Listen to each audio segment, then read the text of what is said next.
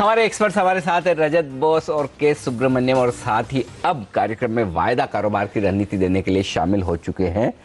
Angel broking के derivative head Siddharth Bhamre. Siddharth good morning स्वागत है आपका सीएनबीसी आवाज़ पर। 7500 क्या इसके नीचे खतरे बढ़ रहे हैं बाज़ार के लिए? और जो हाईएस्ट ओपन इंटरेस्ट पुट में अब भी बना हुआ है, ये बिकवाली कब आएगी? जिन्होंने पुट बेचे हुए हैं, वो कब प्रेशर में आएँगे, ये बताइए। गुड मॉर्निंग अनिल जी सबसे पहली बात तो बहुत ज़्यादा लोगों ने पुट बेचे नहीं है ज़्यादातर खरीदारी हुई है। और एफ़ uh, भी हम देख रहे थे कि लास्ट अब इनफैक्ट पूरी जनवरी सीरीज़ में कैश मार्केट और फ्यूचर्स uh, मार्केट से ज़्यादा ऑप्शंस के मार्केट में ज़्यादा एक्टिव है। तो क्लियरली uh, हमने बाइंग देखी है। Put call ratio point eight है। इसका ये मतलब कि कॉल में ज़्यादा बिल्टअप है पुट से ज़्यादा। हालाँकि 7,500 की स्ट्राइक काफ़ी उठ के आ रही है क्योंकि इसमें काफ़ी बिल्टअप है। लेकिन हमने देखा कि 7,700, 7,600, 7,800 के कॉल में भी सिग्निफिकेंट बिल्टअप है जो कि मुझे लगता है blend of long and short है। जहाँ तक लेवल्स का सवाल है कल जिस तरह से अपसाइड आया नीचे के लेवल से काफ़ी लोगों को ऐसा लग रहा है कि बॉटम फॉर्मेशन हो चुका है और यहाँ से ट्रेंड रिवर्सल साइंस है। आई एम नॉट सेइंग कि बॉटम फॉर्म हो चुका है या ट्रेंड रिवर्सल है। लेकिन ये मार्केट में बहुत ज़्यादा down side from current levels at least this series में मुझे नहीं दिख रहा है। uh, आज जिस तरह से एच निफ्टी के संकेत है ग्लोबल क्यूज को लेके crude oil price below thirty dollars जो चल रहा है uh, उसको लेके हो सकता है कि सौ सवा सौ पॉइंट की गैप डाउन ओपनिंग हो और हम लोग वहाँ से कल के लो के आसपास सपोर्ट लेके फिर थोड़ा बाउंस बैक दिखाए। ऐसी सिचुएशन में मैं ट्रेडर्स को सलाह दूँगा कि लाइट रहे। ऑप्शन की वॉलिटिलिटी बढ़ रही है। As an investor in this market, I am ready to invest around 7,200, 7,100 level from a long term perspective. एक स्ट्रैटेजी दे रहा हूँ। अब आज जब ये गैप डाउन होगा मार्केट तब इम्प्लाइड वेलोसिटी आपकी और बढ़ जाएगी। 18 टका है मेरे ख्याल से 20 से 21 परसेंट तक इम्प्लाइड वेलोसिटी जा सकती है। जनवरी के 7,100 और 7,200 के पुट ऑप्शन बेचें। अगर मार्केट वो लेवल तक जाता है तो वो लेवल पे खरीदारी करें फ्रॉम एन इन्वेस्टमेंट परस्पेक्टिव जहाँ तक मुझे लगता है मार्केट वो लेवल तक नहीं जाएगा और वो प्रीमियम आप पॉकेट इन करोगे। सो हाई आईवीज में out of money put option आज बेचे, ये मेरी सलाह रहेगी। बहुत तगड़ा डाउनसाइड मार्केट में ये सीरीज़ में नहीं दिख रहा है। चलिए तो यहाँ से ज़्यादा गिरावट नहीं देखने को मिलेगी, ये राय सिद्धार्थ की और कह रहे हैं, कल का low seven four two five, ये था कल का निफ्टी का लो। यहाँ से नीचे जाने की ज़्यादा गुंजाइश नहीं लग रही है उन्हें। एक छोटा सा ब्रेक लेंगे। ब्रेक के बाद भी रजत बोस के सुब्रमण्यम और सिद्धार्थ भामरे से हमारी चर्चा जारी रहेगी और लेकर आएँगे मार्केट का प्री ओपनिंग सेशन और नज़र रहेगी इन्फोसिस के नतीजों पर। कभी भी आ सकते हैं इन्फोसिस के नतीजे। क्या एक्सपेक्टेशंस हैं? कैसे आएँगे? नंबर से सब पर बात करेंगे कुछ ही देर में। एक ब्रेक लेकर अभी हाजिर होते हैं, लेकर आएँगे पहला सवाल।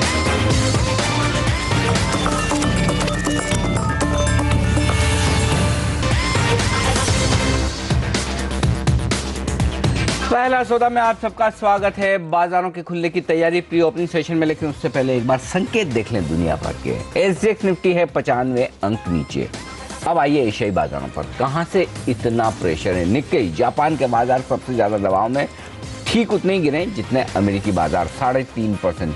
साढ़े छह सौ पॉइंट का नुकसान है निकई में। लेकिन बाकी बाज़ार उतने खराब नहीं। आप देखिए, शंघाई तो ढाई परसेंट नीचे खुलकर अब रिकवर हो रहा है। एक परसेंट नीचे रह गया। दूसरा बड़ा बाज़ार हांगकांग का, जहाँ पर आपको नज़र रखनी चाहिए, वो दो एक परसेंट के आसपास का कमज़ोरी लास्ट टाइम में देखेंगे। जी हाँ अब डेढ़ परसेंट कमज़ोर है। तो बाकी बाजारों में डेढ़ दो परसेंट का नुकसान है निके को छोड़कर। अब एक बार अगर आपने टीवी से डेरी से खोला है तो आपको मैं डाउ बता दूँ कि अमेरिका में तीन सौ छियासठ अंकों की कमज़ोरी कल देर रात हुई है। और वहाँ से एशियाई बाजारों पर दबाव बनता हुआ दिख रहा है। नेस्डेक में भी कमज़ोरी हुई साढ़े तीन परसेंट की तो ये सारा प्रेशर वहीं से आ रहा है। क्रूड, यहाँ पर फिर से दाम गिरते हुए दिखे क्रूड के 30 डॉलर के आसपास के। 12 साल के निचले स्तरों पर क्रूड फिर से पहुँचता हुआ दिख रहे थे और ये संकेत आपके सामने। कल के बेसिस पर एफ़ और डी के डेटा तो न्यूट्रल है, लेकिन एफआई ने कल थोड़ी खरीदारी की है शॉर्ट कवरिंग की है ग्लोबल खराब है। तो सबसे ज़्यादा अगर आपको किसी चारों संकेतों में फोकस करना है तो वो सिर्फ़ और सिर्फ़ पहले वाला है।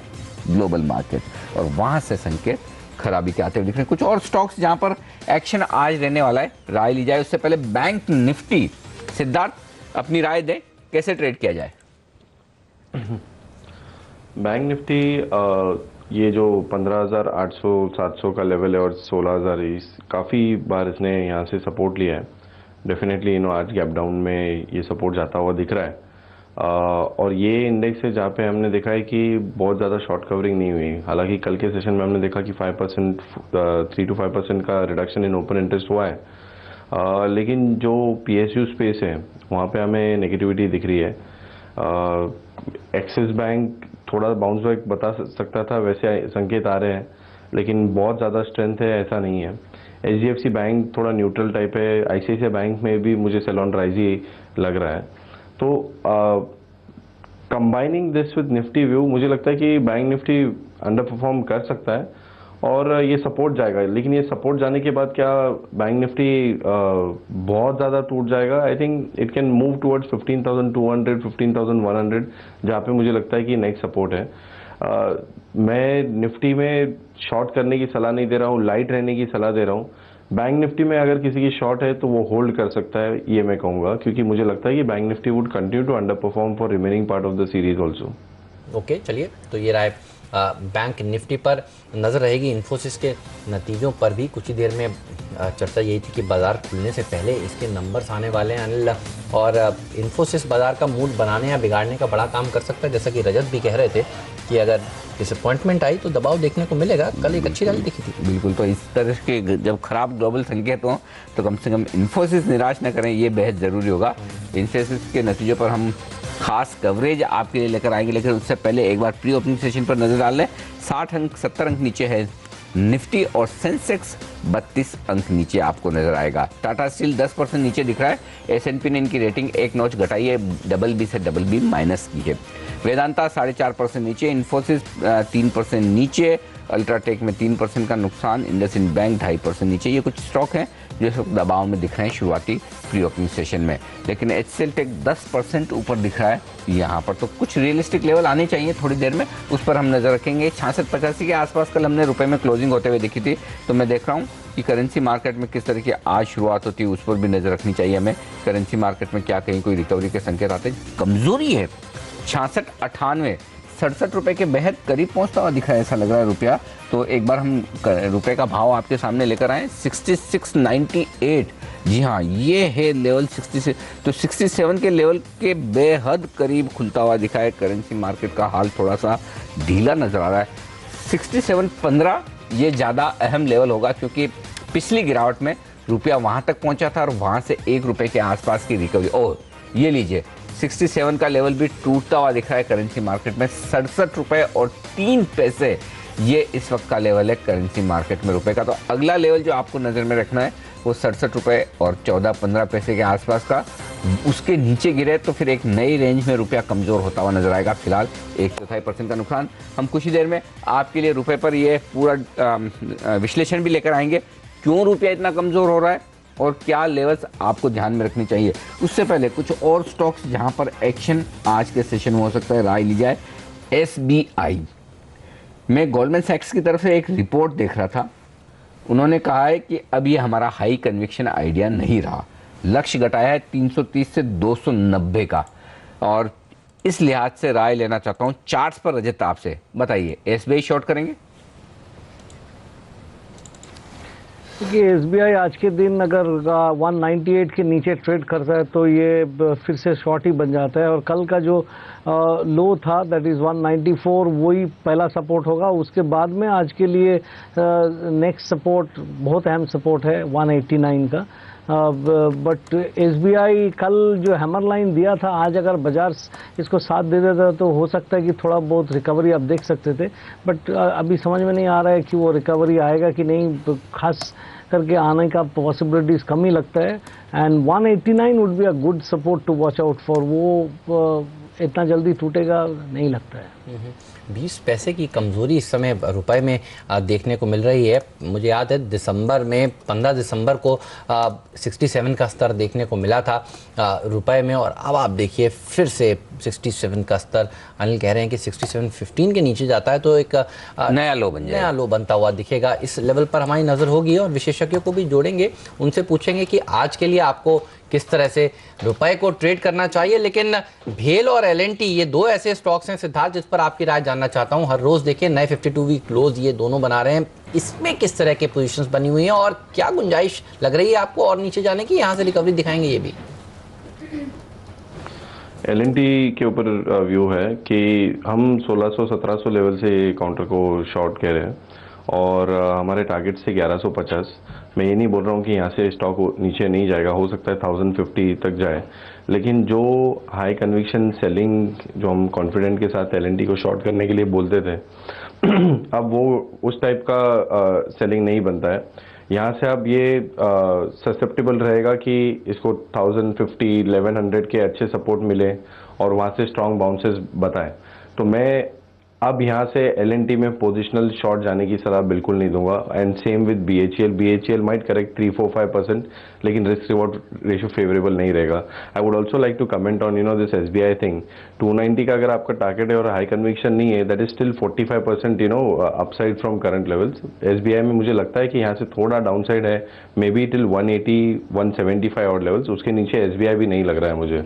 और करेंसी पे भी कमेंट करना चाहूँगा कि despite you know we are nearing 67 15 जो रिसेंट लो था ग्लोबल कंटेक्स में we have been very strong currency compare to other emerging market currencies और ये दैट इज़ द रीजन आप देखोगे कि मार्केट नीचे आ रहे, फिर भी एफ़ की कैश बेस सेलिंग नहीं हो रही है, क्योंकि डॉलर के बाद अगर कोई सबसे ज़्यादा मज़बूत करेंसी है तो वो रुपए में अगर आप देखोगे हाई ग्रोथ कंट्री का तो मुझे नहीं लगता है कि we should get very paranoid by अगर रुपी 67 के नीचे अगर खुल रहा है और वहाँ पे अगर ट्रेड हो रहा है तो ये बहुत बड़ी चिंता की विषय नहीं होना गोयल चाहिए का भी जुड़ चुके हैं आईएफए ग्लोबल के करेंसी पर राय देने के लिए। अभिषेक बताइए क्या वजह समझ रहे हैं आज इस कमज़ोरी की और वो 67 13 14 15 जो भी लेवल है पुराना क्या उसके नीचे जाने का खतरा बढ़ गया है क्या रुपए के लिए?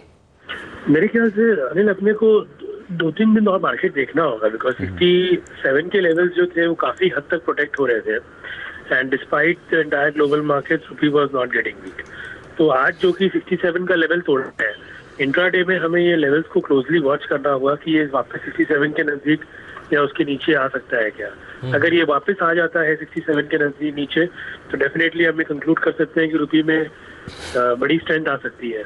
किंतु अगर 67 के ऊपर होल्ड किया और 67 15 20 के लेवल तोड़ दिए देन 40 50 पैसे की वीकनेस वहाँ से और नज़र आ सकती है। बट ओवरऑल रुपए में थोड़ी सी स्ट्रेंथ है मार्केट में अगर हम ग्लोबल करेंसी से मेंटेन कंपेयर करें तो। बिल्कुल जो कि जो कि रिस्क वर्जन आई है अभी वापस से मार्केट्स में डाउ वगैरह डाउन है क्रूड नीचे है तो उस कारण से रुपया भी आज वीक हुआ है। But I think second half तक एक व्यू क्लियर आएगी मार्केट में कि भाई किस टाइप की करेंसी मूवमेंट रहनी चाहिए। ये बताइए अभिषेक दूसरी एशियन करेंसी आज किस तरह से ट्रेड कर रहे हैं? क्योंकि आप तो नज़र बनाकर रखते हैं। वहाँ पर भी क्या इतनी कमज़ोरी देखने को मिल रही है? या आज इंडिया मार्केट में थोड़ा ज़्यादा प्रेशर दिख रहा है आपको? नहीं डेफिनेटली आई मीन अगर अपने इंटरनेशनली देखें तो यूरो वगैरह थोड़ा बढ़ा हुआ है बट जीबीपी गिरा गिरा हुआ है। जापानीज येन में रिस्क कन्वर्जन है तो जापानीज येन थोड़ी स्ट्रांग है। एशियन करेंसीज काफ़ी वीक है बट इंडियन करेंसी उतनी ज़्यादा वीक नहीं है मैं कहूँगा। दस पैसा ही वीक हुआ है कल से दस पंद्रह पैसा के नज़दीक। आपकी बात को अगर समअप करना चाहें तो ये कह सकते हैं इंडियन करेंसी आज भी कम गिरी है बनस्पत दूसरे एशियन करेंसीज के मुकाबले? ज़रूर ज़रूर। ये पूरे मूव में अपनी एक अपनी करेंसी करीब करीब एक से डेढ़ परसेंट गिरी है। पिज्जा भी बाकी जो करेंसीज है वो तीन चार परसेंट तक भी गिरी है।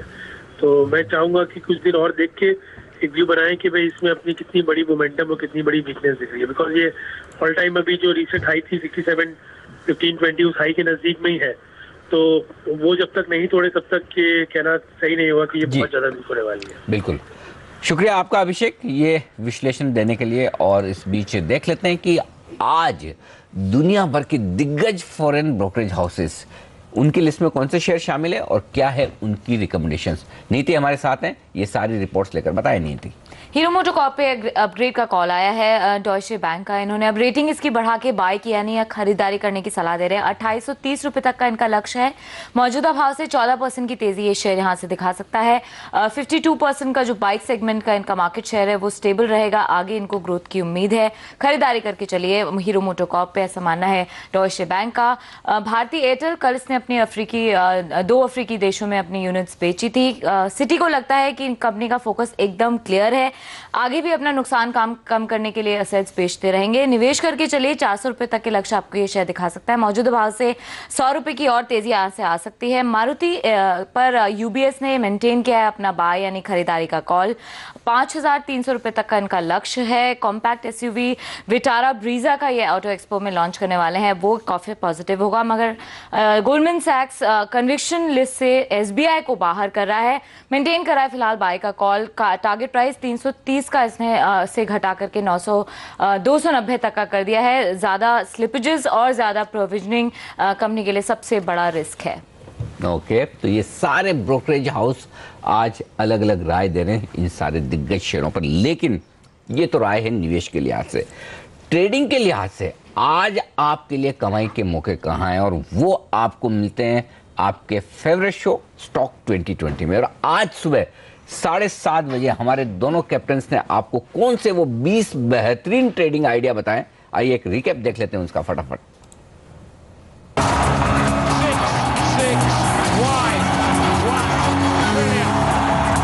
हमारी टीम में आज एमआरपीएल को हमने बाय कॉल उतारा है। रिफाइनरी मार्जिन इंप्रूव होंगे। इस बार इसका रिजल्ट्स क्वार्टर रिजल्ट्स में प्रॉफिट दिखा सकता है। बी एफ़ यूटिलिटीज पे आप नज़र रखें। आज एक फैसला आना है कोर्ट का, जो कि शायद इनके फेवर में आ जाए। और इसके अलावा आप आईटीसी पे नज़र रखें, यहाँ पे पैक पैक्ड फ़ूड के जो मार्जिन है काफ़ी इंटरेस्टिंग है। एचयूएल के रिज़ल्ट से पहले आईटीसी को बेनिफिट आपको आता हुआ दिखेगा। आदित्य बिरला नोवो में आप शॉर्ट कर सकते हैं, क्योंकि ये बेसिक टॉप हंड्रेड की लिस्ट से बाहर जा रहा है। और इसके अलावा टाटा स्टील पे रेटिंग घट गई है। एस ने इसकी रेटिंग घटाई है, इसलिए इसको शॉर्ट कर रखा है। एमआरओ टेक एक तो सोलर का इसको बेनिफिट मिलेगा दूसरा आज इसकी बोर्ड की बैठक है, जिसमें ऑथराइज कैपिटल बढ़ाने की बात सामने आई है तो फंड रेजिंग का रास्ता साफ़ हो जाएगा। टीवीएस मोटर्स को आप शॉर्ट कर सकते हैं डेरिवेटिव डाटा कमज़ोर है, और इसके अलावा इसमें एक टेक्निकल ब्रीच भी हुआ है। इसके अलावा आप चाहें तो एवरेस्ट एवरेस्ट इंडस्ट्रीज़ को प्लस करें। रिज़ल्ट बेहद शानदार है, आज ये चल सकता है। और बजाज फाइनेंस को भी डेरिवेटिव और टेक्निकल बेसिस पर एक शॉर्ट कैंडिडेट रखा गया है। मेरी टीम पर नज़र डालिए, छह गेंदबाज और चार बल्लेबाज हैं और गेंदबाजों का दर्जा बैंकिंग स्टॉक्स को ज़्यादा दिया है। शुरुआत करिए कर्नाटका बैंक से, शनिवार को जिसके नतीजे आने वाले हैं। कमज़ोर नंबर्स की एक्सपेक्टेशन ट्रीट कर रहा है। इसके अलावा आईडीबीआई बैंक ऑफ़ इंडिया जैसे स्टॉक्स पर भी बिकवाली करनी चाहिए। आज के दिन आपको, कल भी हमने देखा था बैंक ऑफ़ इंडिया में पाँच छः परसेंट की गिरावट देखने को मिली थी। जेपी एसोसिएट्स बड़ा कर्ज है इस कंपनी के ऊपर। और आप देखिए, ऐसे ही स्टॉक्स में ज़्यादा दबाव देखने को मिल रहा है, जहाँ पर बैलेंस शीट की पोजिशन थोड़ी सी कमज़ोर हो। दस के नीचे आज ये खिसक सकता है। जेएमआर इंफ्रा में भी बिकवाली की राय है और डिपेंडेबल का दर्जा दिया है एंड्रू जूले को। इसके अलावा Reliance Communication Redington Pipavav Defence ये कुछ बल्लेबाज भी हैं मेरी टीम में। अलाहाबाद बैंक में भी बिकवाली की राय सिलेक्टर्स की तरफ़ से निकल कर आई है।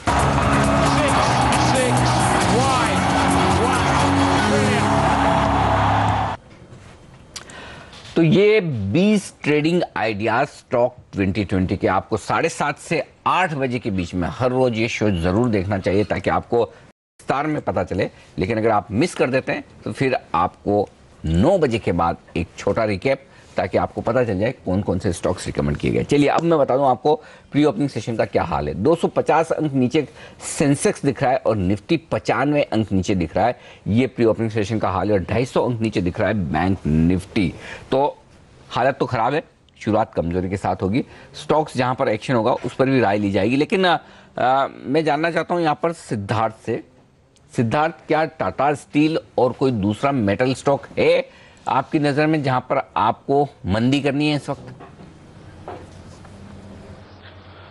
टाटा स्टील के अलावा मुझे ज़्यादा डाउनसाइड दिख रहे हैं स्टॉक्स में, लेकिन उसमें ट्रेड बनेगा नहीं Anil ji because already last तीन चार ट्रेडिंग सेशन में हिंदाल को वेदांता हमने देखा कि काफ़ी स्ट्रॉन्ग करेक्शन आया है। तो थोड़ा और करेक्शन हो सकता है।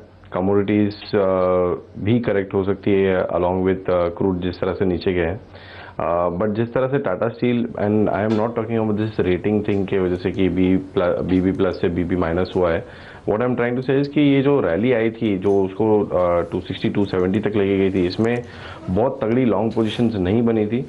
और बहुत खासा रीज़न भी नहीं था कि इतना बड़ा बाउंस बैक आ जाए। आई कैन अंडरस्टैंड 210 से 240 तक 250 तक हम 240 245 तक हम एक्सपेक्ट कर रहे थे but not such strong bounce back तो मुझे लगता है कि ये एक अच्छा शॉर्टिंग कैंडिडेट है, और ये वापस 220 225 के लेवल तक आ सकता है Tata Steel maybe you know down to 215 also तो ये जिसकी शॉर्ट पोजीशन है, उसमें बरकरार रखें। फ्रेश शॉर्ट पोजीशंस भी इनिशिएट कर सकते हैं, अगर बहुत तगड़ा गैप डाउन ओपनिंग ना हो तो। ओके चलिए, बाज़ार खुलने ही वाले हैं। अब तक इन्फोसिस के नंबर्स नहीं आए, जिसका बाज़ार को बेसब्री से इंतज़ार था। देखना होगा कब तक नंबर्स आते हैं। अभी भी होप से लाइव हैं। दो मिनट बचे हैं बाज़ार खुलने में। लेकिन एक स्टॉक जिस पर आपसे राय लेना चाहता हूँ, बाज़ार खुलने से पहले, रजत, वो है मार्क्सन फार्मा का शेयर अगर आप देखें तो क्या रैली दिखाई थी इस स्टॉक ने? और कल अचानक से जब ग्यारह बजे के आसपास बाज़ार का मूड बिगड़ा और इस स्टॉक में एक लोअर सर्किट लगा 20 परसेंट का तो कुछ लोग चिंतित हो गए। और आज फिर से दबाव के साथ खुलने के संकेत ये शेयर दे रहा है। चार्ट इसके कैसे लगते हैं आपको? देखिए मार्क्सन फार्मा जुलाई और अगस्त के बीच में बहुत अच्छी रैली दिखाया था। करीबन 60 के आसपास से लेके डबल ऑलमोस्ट डबल हो गया था। उसके बाद में आप देखिएगा तो काफ़ी वॉलेटिलिटी और range bound movement and specially October से लेके कुछ दिनों पहले तक आप इसमें सिर्फ़ रेंज बाउंड मूवमेंट चल रहा था। वो रेंज से अब आगे निकल के जा नहीं पा रहा था। अभी कल जो ब्रेकडाउन हुआ है 20 परसेंट ब्रेकडाउन इसमें ये अपना 200 डे को भी तोड़ दिया है। इसी पैटर्न को डिस्ट्रीब्यूशन पैटर्न कहते हैं।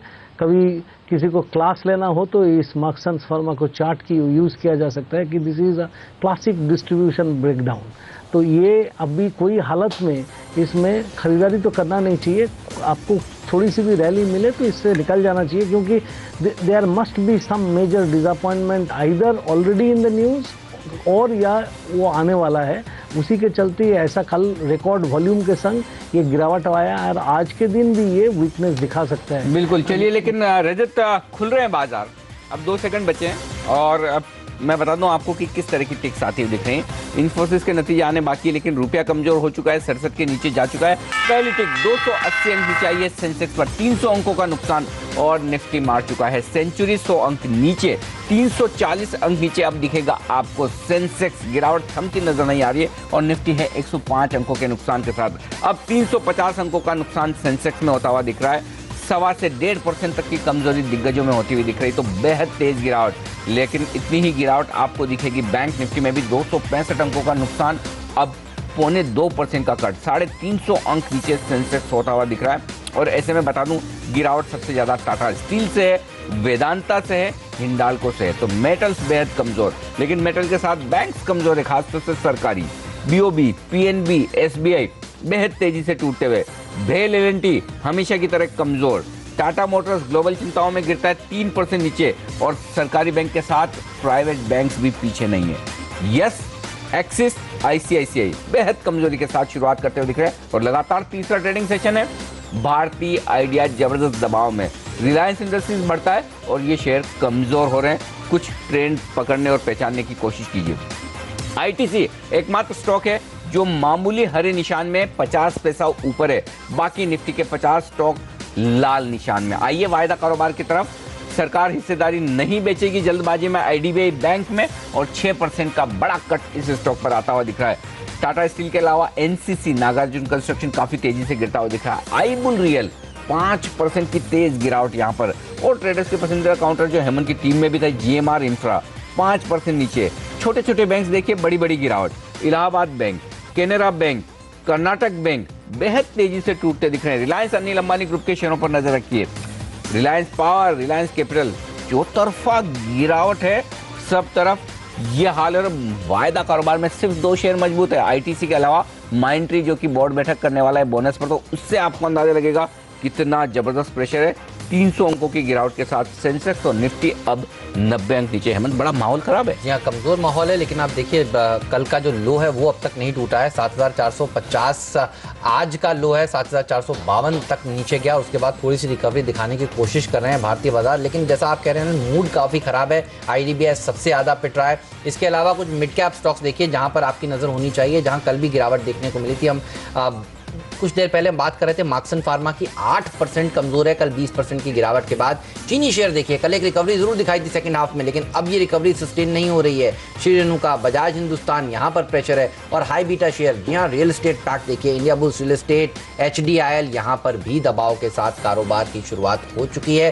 तो हाई बीटा स्टॉक में सबसे ज़्यादा प्रेशर और आई टी सी मुश्किल से एक रुपए की बढ़त दिखा रहा है। हर निशान में ट्रेड करता हुआ। लेकिन अनिल आप देखिए इन्फोसिस जिन्होंने ये सोचा था कि प्री मार्केट में नंबर तक तो नहीं आए आप देखिए यहाँ पर भी थोड़ा सा भाव देखने को मिल रहा है। सवा परसेंट की ही सही लेकिन गिरावट के साथ यहाँ पर आज ओपनिंग होती हुई नज़र आ रही है। दबाव चौतरफा भारतीय बाजारों पर अब भी बना हुआ है। मिड कैप इंडेक्स कल भी सबसे ज़्यादा कमज़ोर था और कल आ, हमने देखा था वन इस टू इलेवन का सेवनटीन तक का रेशियो था। एक बढ़ने वाले शेयर के सामने सत्रह गिरने वाले शेयर थे जो सुधरा ज़रूर था लेकिन फिर भी एक बढ़ने वाले शेयर के सामने चार पाँच गिरने वाले शेयर थे और आज भी देखिए, जो एडवांस डिक्लाइन रेशियो है, ये कल से भी ज़्यादा खतरनाक तस्वीर दिखा रहा है। एक बढ़ने वाले शेयर के सामने आज 18 गिरने वाले शेयर बिल्कुल। तो दबाव कहीं से कम होता नहीं दिख रहा है, सिर्फ़ एक दो शेयर जिनका ज़िक्र करना होगा। एवरेस्ट इंडस्ट्रीज़ जिसने कल बाज़ार बंद होने के बाद अच्छे नतीजे दिए, चार परसेंट ऊपर है ये शेयर। रेडिंगटन के लिए हमने बताया ना HDFC म्यूचुअल फंड ने अस्सी लाख शेयर खरीदे कल 110 में तो मामूली हरे निशान में एक परसेंट ऊपर ये स्टॉक आपको दिखेगा। ये दो स्टॉक हरे निशान में मेंशन करने लायक है। मेगा सॉफ्ट नौ परसेंट नीचे मार्क्सन्स फार्मा नौ परसेंट नीचे, लेकिन आईडीबीआई बैंक। यहाँ क्या हो रहा है भाई? या आठ परसेंट, नौ परसेंट नीचे आईडीबीआई बैंक में बहुत तेज गिरावट होती दिख रही है। फटाफट एक चार्ट पर लेवल लिए जाए यहाँ पर आईडीबीआई बैंक में। रजत, बताइए, इतना गिरा है नौ परसेंट नीचे, अब क्या कहीं सपोर्ट लेवल दिख रहे हैं आपको? अनिल जी, इसमें सपोर्ट अभी देखना नहीं चाहिए, क्योंकि ये 63 अगर तोड़ देगा तो ये हो सकता है कि 60 के भी नीचे चला जाएगा। तो इसमें अभी सपोर्ट मत देखिए। Actually bear market bear market अगर ये फ्रेज अगर आपको अच्छा लगे तो यूज़ कीजिए नहीं ना, ना। तो जो आपको मर्ज़ी है अच्छा नहीं लगता है लेकिन अगर है तो बताना ही पड़ेगा आपको मैं ये बोलना चाहूँगा कि जब जब ऐसी खराब माहौल होते हैं उसमें रेजिस्टेंस देखिए सपोर्ट मत देखिए सपोर्ट काम नहीं करता है। और ये इसमें डिसअपॉइंटमेंट है। हाँ। इसमें डिसअपॉइंटमेंट है। जो सोच के ऊपर लेके गया था वो नहीं हुआ तो अभी डिसअपॉइंटमेंट के चलते इसमें पिटाई अभी और ज़्यादा होगा। तो 63 का जो सपोर्ट है वो अगर काम करे तो बहुत अच्छा है। नहीं करने से फिर उम्मीद कीजिए कि 60 तक की चला जाए तो भी कोई बड़ा बात नहीं होगी। जहाँ वॉल्टिलिटी बढ़ती हुई दिख रही है आप देखिए हमने आपसे कहा था कि 7450 का स्तर नहीं टूटा है।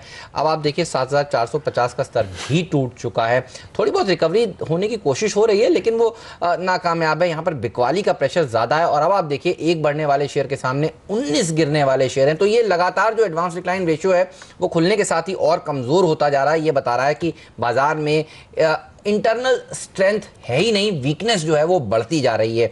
इसके अलावा नज़र रहेगी रिलायंस इंडस्ट्रीज़ के स्टॉक पर, क्योंकि इसने ही कल बाज़ार को संभालने का काम किया था और देखते हैं ये आज किस तरह से ट्रेड कर रहा है। कल बावन हफ़्ते का नया उच्चतम स्तर इस स्टॉक ने लगाया था और आज दरअसल सपोर्ट नहीं कर रहा है ये स्टॉक और इन्फोसिस भी देखिए सपोर्ट नहीं कर रहा है। कल इन्हीं दोनों स्टॉक्स ने बाज़ार में अच्छी रिकवरी दिखाई थी। लेकिन आज क्योंकि यहाँ पे परफॉर्मेंस नहीं है और आईटीसी के दम पर बाज़ार अकेला चल नहीं सकता और वो भी देखिए, अब लाल निशान में फिसल चुका है। कमज़ोरी देखने को मिल रही है चौतरफा। इस समय रजत, आपसे राय लेना चाहूँगा, निफ्टी पर, इन लेवल्स पर, कोई एक ट्रेड आप निफ्टी पर अगर लेना चाहें तो वो किस तरफ़ का होगा? देखिए, इस तरफ़ में आप एग्रेसिव ट्रेडर होंगे तो आप शॉर्ट कॉल लेंगे और उस सेवन फोर एट ज़ीरो के ऊपर में स्टॉप लगा के आप शॉर्ट कॉल ले सकते हैं। बट मैं जो पहले भी कहा था कि सेवन थ्री एट फाइव मैं उम्मीद कर रहा हूँ तो उसी के आसपास जाने से आ, हो सकता है कि सेवन थ्री फाइव ज़ीरो के नीचे स्टॉप लगा के लॉन्ग पोजीशन बनाने का सोचूँगा। But aggressive traders can of course take a trade seven four eight zero आज के हाई के थोड़ी सी ऊपर वो स्टॉप लॉस लगा के उसमें ट्रेड लेने से कुछ मिल सकता है। क्योंकि ये this is a kind of a panic वो नीचे जाने की ज़्यादा पॉसिबिलिटीज है। सेवन फोर टू फाइव टूट जाएगा। ऐसा ही समझ में आ रहा है। हम्म, हम्म। और इस बीच एक और स्टॉक जो बड़ी पोजीशन बनाता हुआ दिख रहा है मुझे। आज शुरुआती कारोबार में दो परसेंट ओपन इंटरेस्ट यहाँ पर बढ़ा है। अ, कम हुआ है माफ़ कीजिएगा और वो है जेट एयरवेज और तीन परसेंट स्टॉक नीचे हुआ है। अच्छी तेज़ी दिखाने के बाद जेट में करेक्शन आ रहा है जो ओपन इंटरेस्ट गिर रहा है ऐसा लग रहा है कि तेज़ी करने वाले ट्रेडर्स थोड़ी पोजीशन हल्की कर रहे हैं। क्या करना चाहिए? सिद्धार्थ अगर वायदा कारोबार में किसी की पोजीशन है जेट एयरवेज में तो। आई एम अज्यूमिंग कि लॉन्ग पोजीशन ही होगी शॉर्ट। पोजीशन वाले तो नहीं रहेंगे। क्लियरली मुझे लगता है एविएशन स्टॉक से प्रॉफिट बुक करके बाहर निकलना चाहिए। अ, जो भी बेनिफिट्स और क्रूड ऑयल के गिरने से हुआ है कंपनीज़ को I think it is more or less done यहाँ से बहुत ज़्यादा बेनिफिट नहीं होगा और अभी एक कॉमन ट्रेड हो गया कि aviation stocks are doing well और बहुत ही ओवर ओन्ड स्पेस हो गया है। मुझे नहीं लगता है कि यहाँ से इसमें सिग्निफिकेंट अपसाइड है एविएशन स्टॉक्स में। जेट एयरवेज में in fact around these levels one should completely move out of their long positions Rajat क्या आप भी यही मानते हैं? आपको भी लग रहा है कि चार्ट्स पर ये शेयर अब ऊपर जाने से थोड़े थक रहे हैं। आप जे, जेट एयरवेज थोड़ा सा गैप डाउन खुला है बाज़ार के मूड के साथ। क्या करना चाहिए यहाँ पर? स्पाइस और इंटरग्लोब पर भी राय दीजिए। देखिए मैं ये पहले ये कहना चाहूँगा कि मैं सिद्धार्थ के संग पूरी तरह सहमत हूँ इस बात का कि definitely aviation space is over own कि कोई जगह पे लॉन्ग नहीं किया जा सकता तो चलो एविएशन स्टॉक्स ले ले और वो अच्छा चलता है। अब इसमें मेरे ख्याल से जेट सबसे बढ़िया प्रदर्शन दिया था, क्योंकि स्पाइस जेट भी ठग गया था और थोड़ा सा इंटरग्लोब में भी ठकान दिखा था, लेकिन जेट चल रहा था। तो इसीलिए जेट में हो सकता है थोड़ा मैग्नीफाइड रूप में ये सेलिंग हो सकता है। और इस लेवल पे जो सिद्धार्थ कह रहे हैं मैं भी वही कह रहा हूँ कि upside for jet was as such capped around 798,802 that was the projected target level. तो उसी के आसपास वो पहुँच चुका था। तो इसका हो गया अभी ये नीचे जाने की पॉसिबिलिटी है। और दूसरी बात यह है कि अनिल जी अगर वर्ल्ड वाइड इकोनॉमिक्स में कॉन्ट्रैक्शन हो तो एविएशन स्पेस में कॉरपोरेट ट्रैवल थोड़ा कम होगा। और इसके चलते ये सब काउंटर में भी कुछ तो वो बेनिफिट एक तरफ़ रॉ मटेरियल का आता है लेकिन सेल्स में कुछ घटोती होने की पॉसिबिलिटीज अभी सामने आ जाएगा। तो इसी के चलते सेवन थर्टी सेवन कोई कारण से अगर टूट जाए तो जेट में कोई पोजीशन मत रखिए। चलिए तो अब ये ओवर ओन्ड सेक्टर हो चुका है और ये हमारे एक एक्सपर्ट नहीं, दोनों एक्सपर्ट कह रहे हैं, रजत भी कह रहे हैं और सिद्धार्थ भी कह रहे हैं। तो यहाँ पर थोड़ा सा कॉशियस रहने की ज़रूरत है आपको। इसके अलावा जेपी एसोसिएट्स देखिए, दस रुपये के नीचे अब ये शेयर खिसक गया है। चार परसेंट की गिरावट यहाँ पर भी देखने को मिल रही है। तो अब एफएनओ में दो शेयर हो गए दस रुपये के नीचे के यूनिटेक का साथ देने के लिए जेपी एसोसिएट्स भी अब पहुँच गया है। इन्फोसिस के स्टॉक पर हमारी नज़र बरकरार है। उसके नतीजे कुछ ही देर में आने वाले हैं। देखना होगा किस तरह के नंबर्स आते हैं। अब क्योंकि नंबर्स आने ही वाले हैं, रजत इन्फोसिस में अगर एक ट्रेड नतीजे आने से ठीक पहले लेना हो तो किस तरफ़ होगा? देखिए ऐसी कंपनी का नतीजा आने के पहले students calls for no trading I mean वो देख के ही करिए। क्योंकि आप देखिएगा इसका एक एक नंबर आएगा ऊपर नीचे दो तरफा वोलाटिलिटी दिखेगा। उसके बाद में ये अपना जो ट्रेंड है वो एक्चुअली कायम होगा। वो, काफ़ी वॉलाटिलिटी दिखेगा तो इसीलिए इसमें ट्रेड नहीं करे तो बेहतर है बट संकेत थोड़ी सी वीक का ही आ रहा है। चलिए इस समय इन्फोसिस की तरफ़ से जो एक बयान आया है नतीजे नहीं बयान तो एक आया है कि उन्होंने पुनीता कुमार सिन्हा को इंडिपेंडेंट डायरेक्टर नियुक्त किया है। पुनीता कुमार सिन्हा जी हाँ उनको आप कई बार सीएनबीसी आवास पर देख चुके हैं। उनको इस समय इंडिपेंडेंट डायरेक्टर नियुक्त किया गया है। तो नतीजे आने वाले हैं ऐसा लग रहा है। देखिए एक, और एक बयान तो उनकी तरफ़ से आ गया है। ब्लैक स्टोन जो एक जाना माना पी फंड है उसकी वो एमडी रह चुकी है काफ़ी लंबे समय तक उन्होंने अमेरिका बोस्टन में कारोबार किया कामकाज किया है। पुनीता जी का वो बैकग्राउंड है वो यहाँ पर एक डायरेक्टर के तौर पर इन्फोसिस के बोर्ड पर अपनी सेवाएँ देगी। ये इस वक्त एक बड़ा डेवलपमेंट तो चूँकि अब वहाँ से फैमिली से हैं यशवंत सिन्हा जो पूर्व वित्त मंत्री रह चुके हैं उनकी फैमिली से हैं तो बिल्कुल बिल्कुल। ये बताना भी जी। तो वित्त राज्य मंत्री जयंत सिन्हा की वाइफ हैं वो और ये उनके वो बोर्ड पर, इस वक्त इन्फोसिस पर वो आई हैं। तो कुल मिलाकर इन्फोसिस से जो इन्फॉर्मेशन आने का सिलसिला शुरू हो गया तो इसलिए हम उम्मीद कर सकते हैं अब बस कुछ ही सेकंड्स में शायद रिजल्ट्स आपके सामने आते हुए नज़र आए। तो इस वक्त आपको ट्रेडिंग स्क्रीन से इधर उधर बिल्कुल भी हिलना नहीं है, हटना नहीं है। किसी भी वक्त नतीजे फ्लैश हो जाएँगे। नतीजों के पहले मैं आपको इन्फोसिस का स्टॉक दिखा दूँ, कैसे ट्रेड कर रहा है। एक हज़ार अड़सठ पर फ्यूचर है इसका और दो ढाई परसेंट चलिए, टूटता नज़र आ रहा है। अब ढाई परसेंट का नुकसान इन्फोसिस के स्टॉक में। गिरावट शुरू हुई है इन्फोसिस के स्टॉक में। 1060 का लेवल फ्यूचर्स में तोड़ा है और कैश में मैं बता दूँ इन्फोसिस का स्टॉक इस वक्त ट्रेड करता हुआ दिख रहा है। एक हज़ार अट्ठावन के आसपास। 3183 करोड़ सा जी हाँ ये वो है स्टैंड लोन मुनाफे का नंबर जो इन्फोसिस की तरफ़ से इस समय आ गया है। आपकी स्क्रीन पर, हालाँकि बाकी के नंबर्स आने का भी इंतज़ार करेंगे। कंसोलिडेटेड नंबर्स किस तरह से आए हैं? डॉलर आय के ऊपर नज़र रहेगी और अब रेवेन्यू का फिगर भी आता हुआ।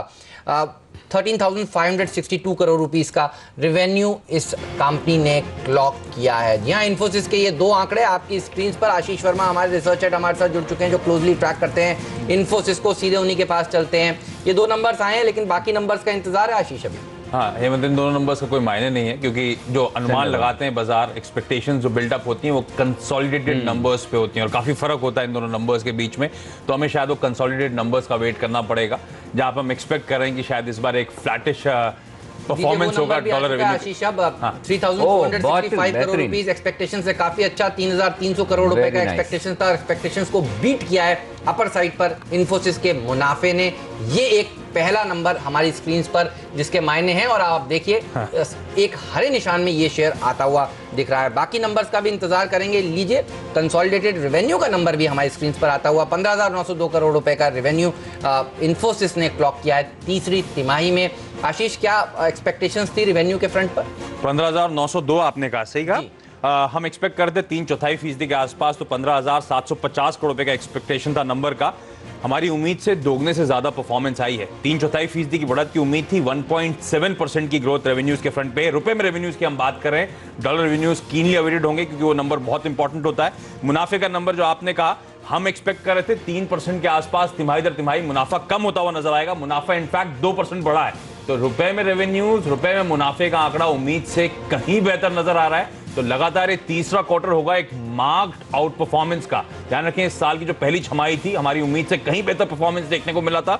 और ये तीसरी तिमाही भी उम्मीद से कहीं बेहतर है, इसलिए आप देख रहे होंगे स्टॉक में भी एक पॉजिटिव रुझान आता हुआ डॉलर आय का नंबर अवेटेड है जहाँ पे हम एक्सपेक्ट करते हैं एकदम फ्लैट परफॉर्मेंस होगी। अगर वो आंकड़ा बेहतर आ गया तो फिर मज़ा ही आ जाएगा। कंसोलिडेटेड एबिटा का नंबर जो हमारे सामने है उसके ज़िक्र कर लेता हूँ आपके साथ।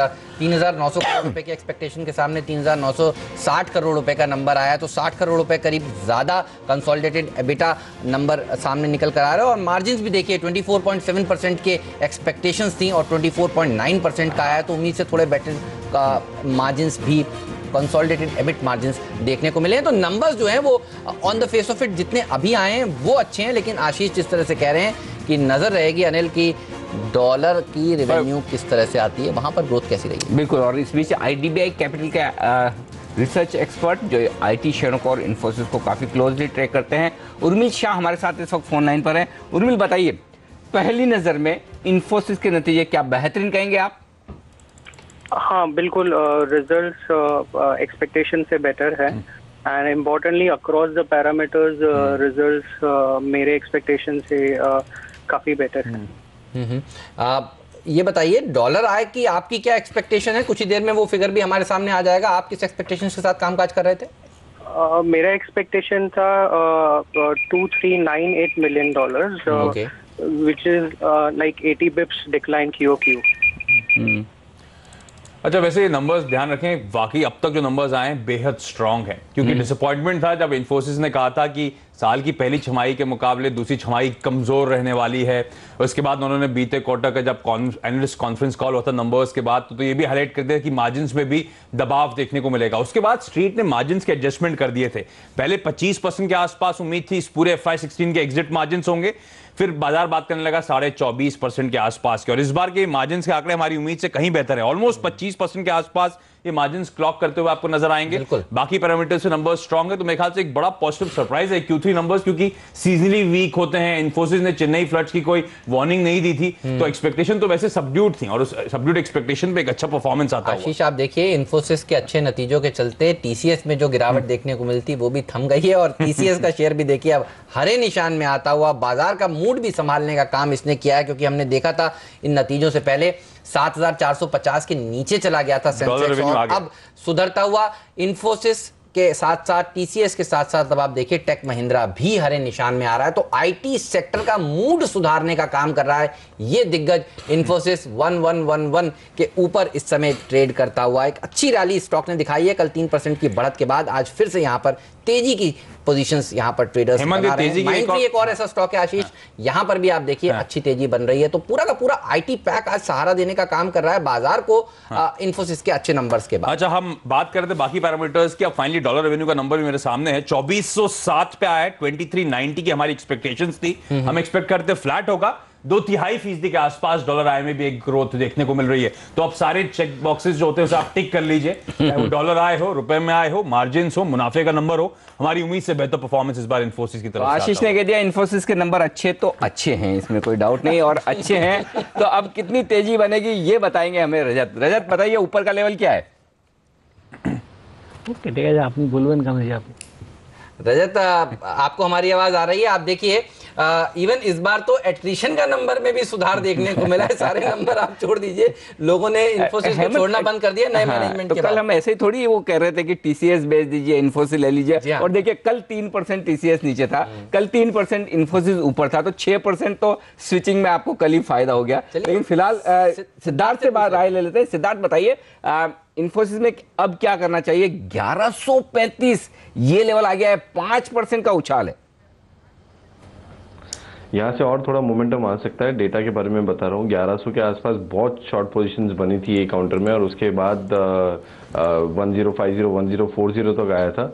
और एक रेंज में था इन्फोसिस काफ़ी टाइम से thousand thousand twenty on the lower side 1100 1110 on the higher side clearly एक शॉर्ट कवरिंग बाउंस यहाँ से बनता है। इंट्राडे में मुझे नहीं लगता है कि इन्फोसिस में डिप्स ज़्यादा आएगी। तो जो इंट्राडे ट्रेडर्स है शॉर्ट नहीं करें और लॉन्ग करके ट्रेड करें। और जहाँ तक पोजिशनल ट्रेडर्स का सवाल है मुझे लगता है कि मैं सिद्धार्थ एक मिनट आपको रोकना चाहूँगा क्योंकि इस वक्त इन्फोसिस ने गाइडेंस बढ़ाया है।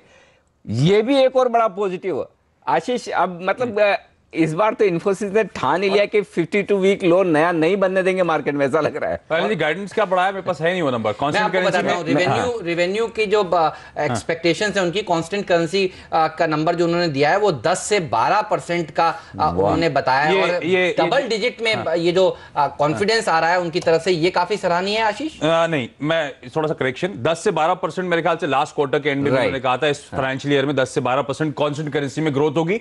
तो उसे मेंटेन कर रहे हैं। मैंने कल ही हाईलाइट करा था कल से जब मैं इस कंपनी के बारे में बात कर रहा था कि 10 से 12 परसेंट एक्सपेक्टेड है मेंटेन करेंगे बल्कि कुछ तबका ये मान रहा था जिस तरह से मार्क्ड आउट परफॉर्मेंस पहली छमाई में देखने को मिला था शायद इस गाइडेंस का लोअर एंड अपवर्ड रिवाइज कर सकते हैं। और वो अपवर्ड रिवीजन हुआ है। Okay. पहले जो खबर चल रही थी हमारी वो। पर वो उसमें गड़बड़ थी वो पुरानी खबर थी। अब आप देखिए 12.8 से 13.2 ऊपर। Oh, परसेंट का उन्होंने कांस्टेंट ये ये बड़ा ये बड़ा हाँ, बहुत बड़ा बड़ा पॉजिटिव सरप्राइज़ है क्योंकि स्ट्रीट में कोई मान नहीं रहा था। अपर एंड गाइडेंस का बदलेगा। लोअर एंड कुछ लोग मान रहे थे कि 10 की जगह शायद 11 करते हुए नज़र आएँगे। अब वो लोअर और अपर एंड दोनों गाइडेंस का इंप्रूव होता हुआ और अब शायद ये स्ट्रीट सटीक पड़ती हुई कि इस फाइनेंशियल ईयर में टीसीएस से बेहतर ग्रोथ इन्फोसिस क्लॉक करता हुआ नज़र आएगा। और ध्यान रखें स्ट्रीट मान रही थी इस बात को लेकिन टाइमिंग इतनी जल्दी इतना एडवांस होगा ये किसी ने नहीं सोचा। आशीष डॉलर रेवेन्यू का जो एक्सपेक्टेशन है वो भी अब हमारे सामने आ गया है। वो कह रहे हैं कि डॉलर टर्म्स में 8.9 से 9.3 परसेंट का उनको एक्सपेक्टेशन है। तो गाइडेंस ये कैसी लग रही है आपको डॉलर टर्म में? स्ट्रीट कांस्टेंट करेंसी को ज़्यादा वॉच करेगी लेकिन ध्यान रखें बीते क्वार्टर में आपने जो डॉलर रेवेन्यू गाइडेंस की बात करी थी कंपनी ने घटा दी थी वो क्रॉस करेंसी हेडविंड्स के, के चलते। और अब मार्क्ड इंप्रूवमेंट है जिस लेवल से घटाई थी उस लेवल के भी ऊपर जाते हुए मैं आपको बता दूँ 7.2 से 9.2 परसेंट की पहले रेंज दी गई थी उसे घटाकर 6.4 से 8.4 परसेंट कर दिया था बीटे क्वार्टर में। और अब आप कह रहे हैं 8.4 से 9.3 यानी कि जो प्रीवियस लेवल जिससे घटाए थे उससे भी बेहतर ही गाइडेंस होती हुई। तो नंबर्स डेफिनेटली बहुत स्ट्रांग है और कल काफ़ी हद तक लोगों ने जिस तरह का मेरे को तो एक डर लग गया था। टीसीएस के नंबर्स में एक डेढ़ घंटे का डिले था उसके बाद नंबर्स बड़े कमज़ोर आए थे। मुझे लग रहा था शायद इन्फोसिस से एक डिसअपॉइंटमेंट आने वाला है लेकिन ये तो एक बड़ा पॉजिटिव सरप्राइज़ है। तो सिक्का साहब का सिक्का चल गया है चल रहा है पिछले तीन चार क्वार्टर से चल रहा है। बिल्कुल चल गया था। और जो काफ़ी ऐसे लोग थे एक्चुअली मैं सुन भी रहा था कि जिन लोगों ने मैनेजमेंट में बदलाव के बाद इन्फोसिस पर भरोसा किया उनका भरोसा सही साबित होता दिख रहा है। बेहतरीन ग्रोथ आती हुई दिख रही है। लेकिन अब रजत शायद हमारे साथ हैं इस वक्त। रजत आवाज़ पहुँच रही है आपको? इन्फोसिस के टारगेट्स हाँ ज़रूर। और जिनके पास तेज़ी की पोजीशन है उनके लिए फटाफट स्टॉप लॉस दीजिए। अभी स्टॉप लॉस आपको 1115 के नीचे रखना चाहिए। 1135 37 का क्रॉस करने से 1155 का टारगेट होगा। 1155 क्रॉस करने के बाद में इसमें आ, और तेज़ी दिख सकता है। बट फ़िलहाल मैं ये कहूँगा कि आज के लिए 1135 से 37 बहुत महत्वपूर्ण लेवल रहेगा। बीच में और ऊपर में 1155 नीचे 1115 जिन्होंने कल शेयर खरीदा था ये बताइए अब चार परसेंट ऊपर है। आ, इसको आ, रखना चाहिए या अगर आप होते तो आप इसको एक बार बुक कर लेते मुनाफा वसूल कर लेते? अच्छा कहा आपने मैं अगर मैं होता तो क्या करता? मैं बुक कर लेता। ओके प- इस समय एक बार और एक चीज़ देखते हैं। मार्केट में दरअसल कौन से स्टॉक्स किस तरह का प्रदर्शन दिखा रहे हैं? इन्फोसिस ये एक ऐसा हैवी वेट है कंट्रीब्यूटर्स की अगर आप प्लेट देखेंगे तो आप पाएँगे जो सबसे ज़्यादा अच्छा कंट्रीब्यूट कर रहा है, बाज़ार की जो गिरावट हो रही है, उसको थोड़ा सा रोकने का काम कर रहा है। जी हाँ इकलौता ये स्टॉक देखिए 25 अंक कंट्रीब्यूट कर रहा है। अगर ये आज अच्छा प्रदर्शन नहीं दिखा रहा होता तो आज हम काफ़ी नीचे होते। टेक महिंद्रा थोड़ी सी मदद कर रहा है, हरे और लाल निशान में इस समय झूलता हुआ है। चलिए, हमारे सारे एक्सपर्ट से विदा लेने का वक्त है। बहुत बहुत शुक्रिया आपका। आज पहला सौदा में हमारे साथ जुड़ने के लिए और बाज़ार के अब जाने माने एक्सपर्ट और कोटक महिंद्रा म्यूचुअल फंड के एमडी और सीईओ नीलेश शाह हमारे साथ कार्यक्रम में शामिल